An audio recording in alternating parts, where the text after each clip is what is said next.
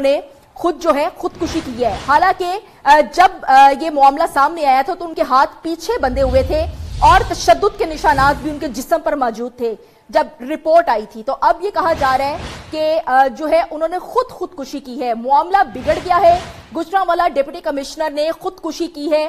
تحقیقاتی رپورٹ میں یہ ثابت کیا گیا ہے کہ سہیل احمد ٹیپو کی موت صبح چار بجے کے قریب ہوئی۔ تحقیقاتی رپورٹ گجرا والا سیاسی اور سماجی حلقوں نے تحقیقاتی رپورٹ کو مسترد کر دیا ہے۔ ڈیپٹی کمشنر کی موت کی وجوہات کو جان بوجھ کر چھپایا جا رہا ہے کہ اس معاملے کو دبا دیا جائے۔ سیاسی حلقے گجرا والا سے جو ہیں اس پر برہم ہیں۔ ان کا یہی کہنا ہے کہ یہ جو ہے ایسا نہیں لگتا کہ انہوں نے خودکشی کی۔ نہ وہ نیچر وائز ایسے انسان تھے، بلکہ بہت کول انسان تھے اور سب کے ساتھ بہت اچھے تھے۔ اور جب دیکھا گیا تھا تو ان کے ہاتھ پیچھے بندے ہوئے تھے اور تشدد کے نشانات بھی ان کے جسم پر موجود تھے لیکن پتہ نہیں اس کو ان کی موت کی وجوہات کو کیوں جان بوجھ کر چھپایا جا رہا ہے۔ رپورٹ میں دیکھیے۔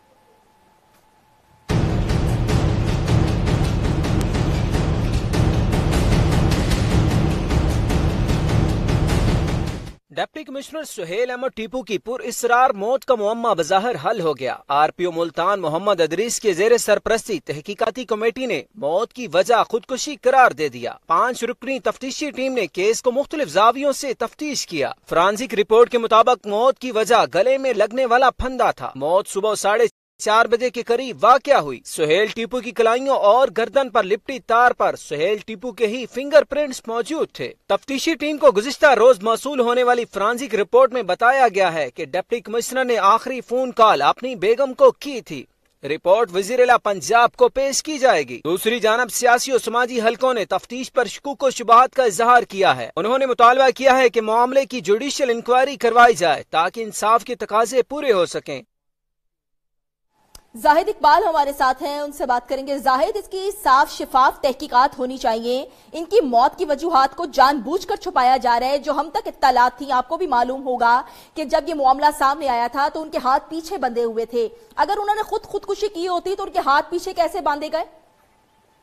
جی بالکل یہ افسوسناک واقعہ بائیس مارچ کو واقعہ پیش ہے جبکہ ڈپٹی کمشنر سہیل احمد ٹیپو اپنے ہی گھر میں پنکھے کے ساتھ لٹکی تھی ان کی ڈیڈ باڈی ملی۔ تو واقعے کی اطلاع ملنے کے بعد ان کو فوراً جو تحقیقاتی ادارے وہاں پر طلب کر لیے گئے۔ کئی روز کے بعد سی پی گجرا والا نے ایک ساتھ رکنی کمیٹی کا اعلان کیا، جس کو سالٹ ویسٹ مینجمنٹ کی ایک ملازمین سے تحقیقات کرنے کے بعد سیاسی دباؤ پر اس تحقیقاتی کمیٹی کو روک دیا گیا۔ پھر ایک جے آئی ٹی ٹیم تشکیل دی گئی، آر پی او ملتان کی سربراہی میں، جس نے دو سے تین روز تک یہاں گجرا والا میں مختلف مقدمین اور اداروں سے تفتیش کا سلسلہ جاری رکھا۔ بازار جو رپورٹ فرانسک لیب کی طرف سے جو کل مصول ہوئی ہے، وہ آج وزیر پنجاب کو پیش کی جائے گی۔ اس میں تو خودکشی قرار دے دیا گیا ہے۔ بازار طور پر تو خودکشی قرار دیا گیا ہے، لیکن ابھی بہت سارے سوالات ہیں جن کے جواب ابھی آنا باقی ہے۔ لیکن انتظامیہ کا بائیس مارچ سے لے کے ابھی تک آج تین اپریل ہے، لیکن ابھی تک انتظامیہ کی طرف سے چھپ کر روزہ جو وہ ابھی تک نہیں ٹوٹ سکا۔ اصل حقائق، کیا تھے جو مندر عام پر آنے چاہیے؟ سیاسی اور سماجی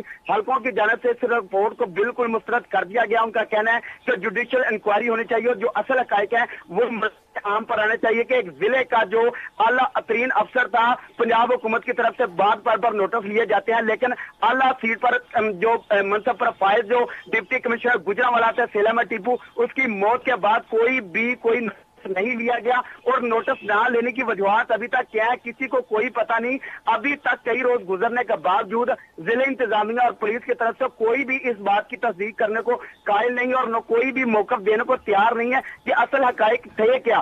اگر دوسری طرف یہی بات سامنے لائی جائے فرانسک لیب کی طرف سے جو رپورٹ مصول ہوئی ہے جس میں خودکشی قرار دے دیا گیا تو یہ تو بائیس مارچ کو D S P civil line نے موقع پر ہی اس بات کی تصدیق کر دی تھی اور دفعہ جو ہمارے ساتھ رہیے مسعود صادق صاحب ہمارے ساتھ ہیں ان سے مزید ان کا موقف لے لیتے ہیں۔ بہت شکریہ مسعود صاحب آپ کے وقت کا۔ یہ جو ڈپٹی کمشنر گجرا والا کی موت کا جو معاملہ ہے کیا آپ کو ایسا لگتا ہے کہ مطلب یہ جو فیصلہ کیا گیا کہ انہوں نے خودکشی کی ہے کیا خودکشی کا معاملہ لگتا ہے جی ہلو؟ جی جی آپ تک میری آواز پہنچ پا رہی ہے۔ جی جی جی جی جی یہ جی جی یہ خودکشی نہیں ہے۔ جی خود ہوتی۔ تو پہلے دن جو ان کا ڈاکٹر گزار صاحب ہیں جنہوں نے ان کا پوسٹ مارٹم کیا تھا۔ جی۔ تو انہوں نے واضح میڈیا کو پیغام دیا تھا کہ جو خودکشی کرتا ہے، ان کے ہاتھ پیچھے نہیں بندے ہوتے۔ بالکل، یہی سوال ہے یہاں پر۔ یہ جو فیصلہ کیا گیا کہ گجراوالا جو تھے، ڈپٹی کمشنر تھے گجراوالا کہ انہوں نے خودکشی کی ہے، تحقیقاتی رپورٹ میں انہوں نے یہ ثابت کیا، جبکہ جو سیاسی اور سماجی حلقے ہیں، انہوں نے تحقیقاتی رپورٹ کو مسترد کر دیا۔ اور جب یہ معاملہ ہوا تھا، جب یہ افسوسناک واقعہ پیش آیا تھا، تب بھی ہمارا یہی سوال تھا کہ اگر ایک انسان خود خودکشی کرتا ہے، تو اس کی گردن سے تار کے نشانات اور ہاتھوں کا پیچھے بندے ہونا، وہ اپنے ہاتھ خود کس طرح پیچھے باندھ سکتے تھے؟ میں آپ کی بات اضافہ کروں۔ جی جی بتائیے۔ جنہوں نے پوسٹ مارٹم کیا انہوں نے واضح کیا تھا کہ ایک تو جب بندہ خودکشی کرتا ہے نا تو ان کی گردن لٹک جاتی ہے۔ اور گردن کی ہڈیاں ٹوٹ جاتی ہیں۔ نمبر دو ان کی زبان باہر آ جاتی ہے۔ نمبر تین ان کی آنکھیں سوج جاتی ہیں۔ اور نمبر چار جیسے یورین اور پہانا یعنی کہ وہ بھی نکل جاتا ہے۔ یہ چاروں نشانیاں کوئی بھی ان میں سے ایک بھی نہیں جو نا رپورٹ میں واضح ہوئی ایسا کوئی واقعہ جو نا کہہ رہے ہیں کہ نہیں ہوا۔ تو اس سے بھی سازار ہوتا ہے یہ خودکشی نہیں ہے یہ قتل ہے۔ آپ کو یاد ہوگا کہ جب پوسٹ مارٹم رپورٹ آئی تھی تو اس میں یہ انکشافات سامنے آئے تھے کہ ان کا قتل کیا گیا ہے۔ اب جب فرانزک رپورٹ سامنے آتی ہے نسیم صاحب تو اس میں یہ بولا جاتا ہے کہ انہوں نے خودکشی کی ہے۔ تو حقائق جی کو کیوں چھپایا جا رہا ہے؟ ہم لوگ پارٹی نے سب سے پہلے تو جو ہے نا اس رپورٹ کو اور ٹوٹل یہ جو انکوائری کو مسترد کیا سب سے پہلے تو شفاف ان کی انکوائری ہونی چاہیے۔ دوسرا میں آپ کو بتاتا ہوں دیکھیں ابھی وزیر اللہ شباز شریف کدھر ہیں؟ انہوں نے نوٹس کیوں نہیں لیا؟ اگر ان کا ایک ایم پی یہ قتل ہوتا ہے تو جناب پوری انتظامیہ متل کر دیتے ہیں۔ آج چیمہ گرفتار ہوتا ہے کرپشن کے کیس میں پورا ڈی ایم جی گروپ حرکت میں آ جاتا ہے۔ مجھے بتائیں یہ انسان جو ہے نا لوگوں کو موٹیویٹ کرنے والا تھا سہیل ٹیپو جو تھا۔ ان کو تو دیکھ کے ایسے ہی لگتا تھا کہ جس طرح کہ ان کا قتل کیا گیا ہے کیونکہ ان پر کوئی پارٹی کا دباؤ بھی تھا کوئی جلسہ تھا اس حوالے سے بھی اور انہوں نے جو ہے ویکیشنز پہ جانا تھا چھٹی کے لیے درخواست بھی دی تھی وہ بھی مسترد کر دی گئی تھی۔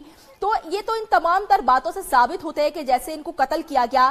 اب جس طرح نسیم صاحب سیاسی اور سماجی حلقے جو ہے انہوں نے تحقیقاتی رپورٹ کو مسترد کر دیا، اب معاملہ وزیر اعلیٰ صاحب تک چلا گیا ہے۔ آپ کیا سمجھتے ہیں اگلا لاہے عمل کیا ہوگا؟ نہیں، میرے خیال میں تو ان کے پاس کچھ بھی نہیں ہے۔ انہوں نے خاموشی دہان لیا بس۔ میں آپ کو وہ جو پیچھے اپنے بات دہرائی ہے، میں اس کا جواب دیتا ہوں۔ جیسے وزیر پنجاب میاں شباز شریف کے جو جلسے کے لیے ساڑھے چار کروڑ روپے نا، فنڈ جو اکٹھا کیا وہ ممبران اسمبلی سے اکٹھا کر کے نا حمزہ شباز کو ڈپٹی میر صاحب نے پہنچایا۔ ٹھیک ہے جی۔ اور ایک ایم پی اے نے ان کو مسئلہ کر رہا تھے کہ جناب والی آپ ایک کروڑ روپے کا اور بندوبست کریں۔ اور آپ کو جیسے پتا ہے کہ ایک اور وفاقی منسٹر کے جو زمین الاٹ کرائی جا گئی تھی وہ بھی دباؤ تھا کہ وہ بھی آپ فائل پر سائن کریں۔ تو مجھے بتائیں یہ باتیں کیا اشارہ دیتی ہیں؟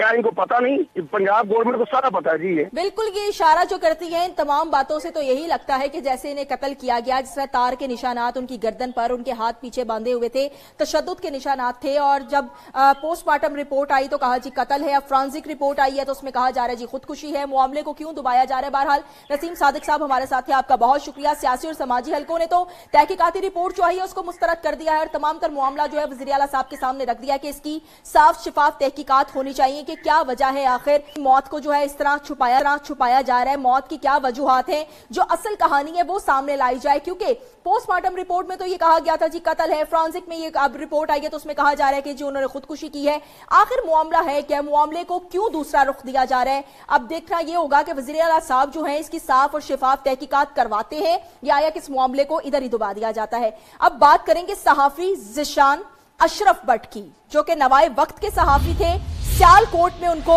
سریام قتل کر دیا جاتا ہفتہ گزرتا جود